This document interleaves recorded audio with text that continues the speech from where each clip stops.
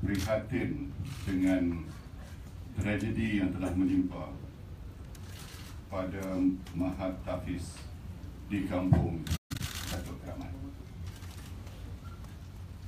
Namun hari ini kita berkumpul atas tujuan yang khusus ini untuk saya mengumumkan bahawa seorang bekas pemimpin utama UMNO yang telah meninggalkan kita selama ini kini telah mengambil keputusan untuk kembali ke pangkuan UMNO.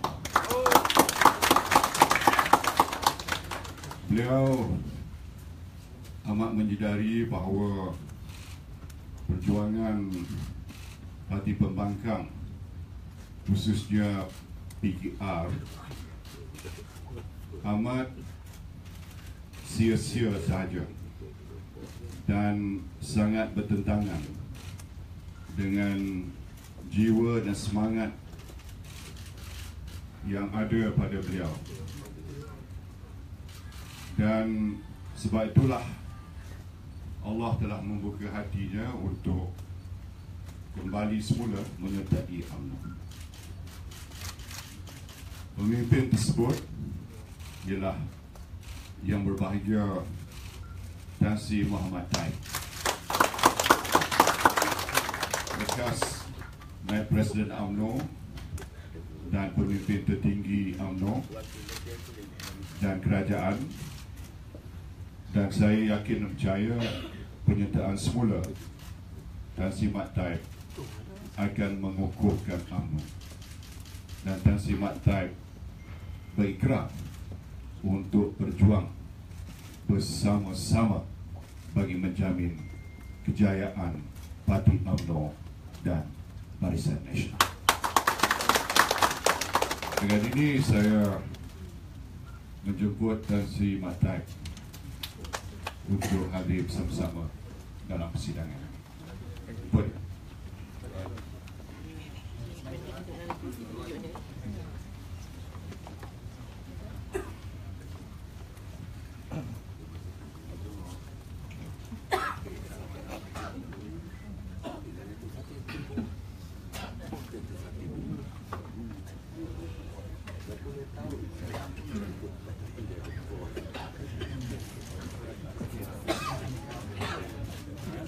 Thank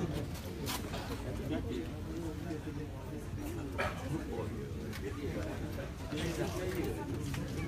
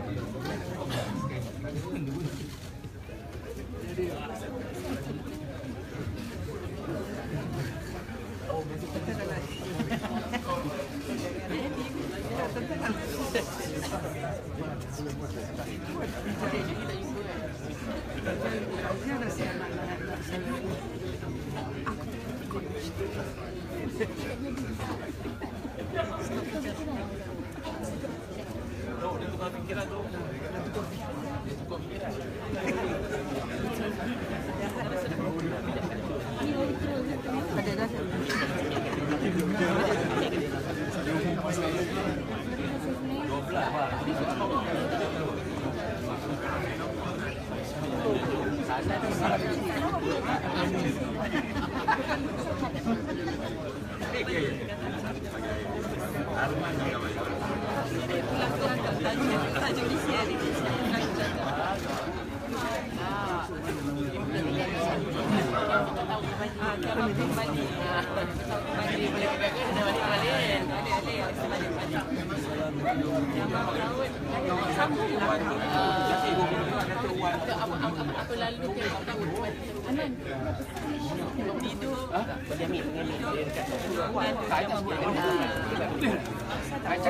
Pak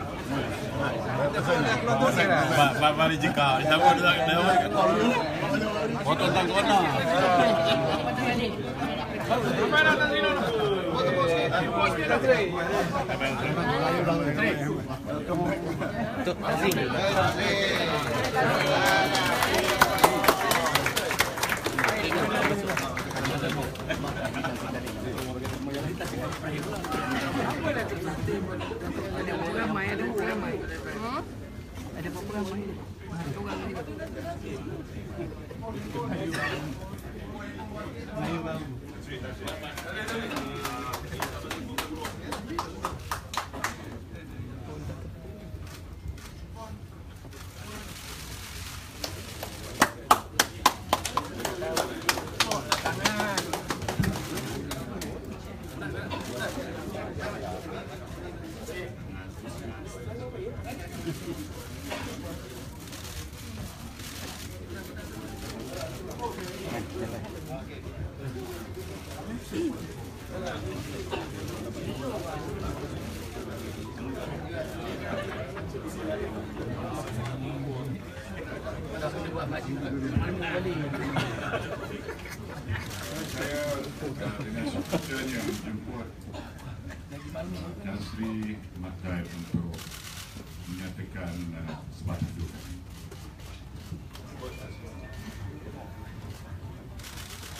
Assalamualaikum warahmatullahi wabarakatuh.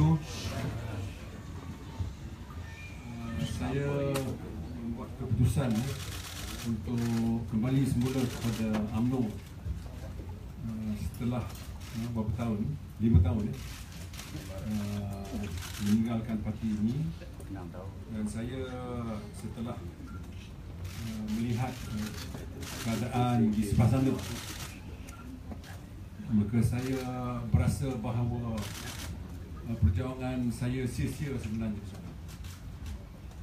saya lihat dalam mesyuarat-mesyuarat uh, terutama mesyuarat-mesyuarat parti yang saya hadiri tidak pernah ada dibincangkan mengenai agenda Melayu tidak ada dibincangkan bila hilang uh, perjuangan Melayu maknanya akan hilanglah uh, perjuangan agama sendiri.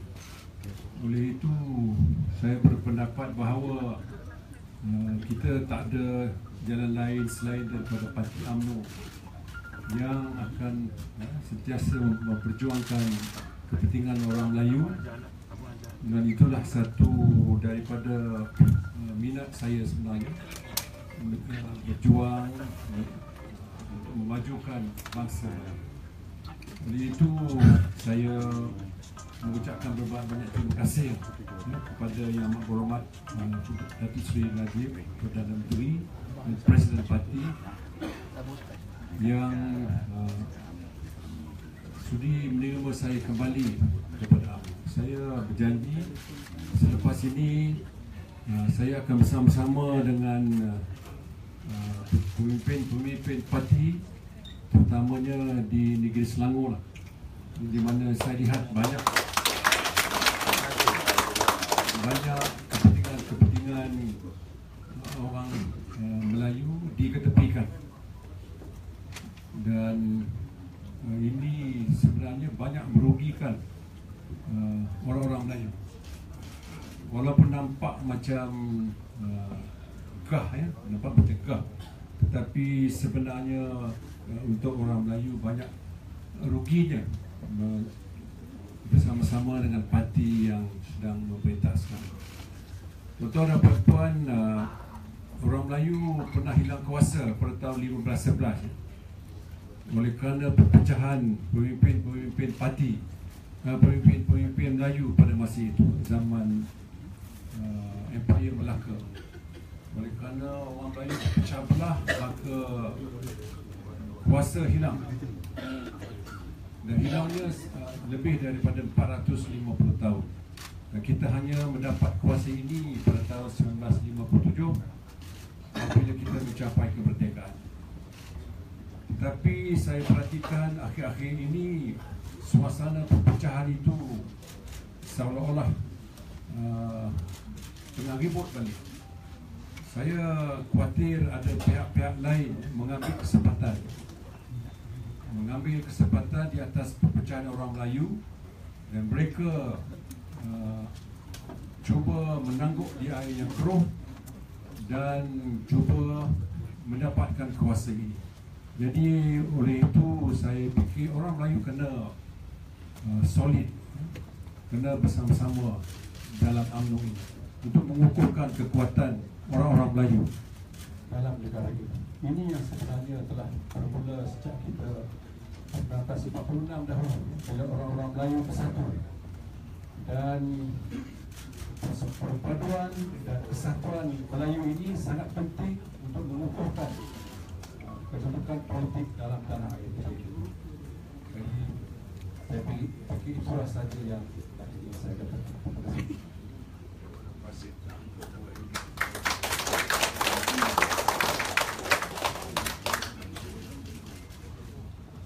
Ada soalan eh?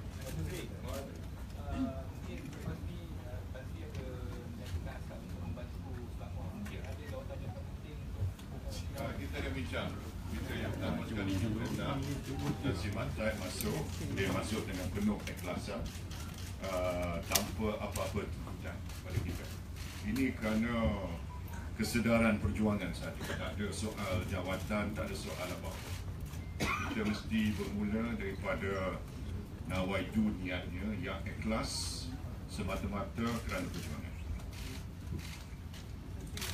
kemungkinan uh, pemimpin lain akan balik. Soalan tunggu dulu lah. Saya tengok dah pribumi pun dah ribut dah. Kita tengok. Baik, terima kasih ya. Okay, thank you. See you. Okay.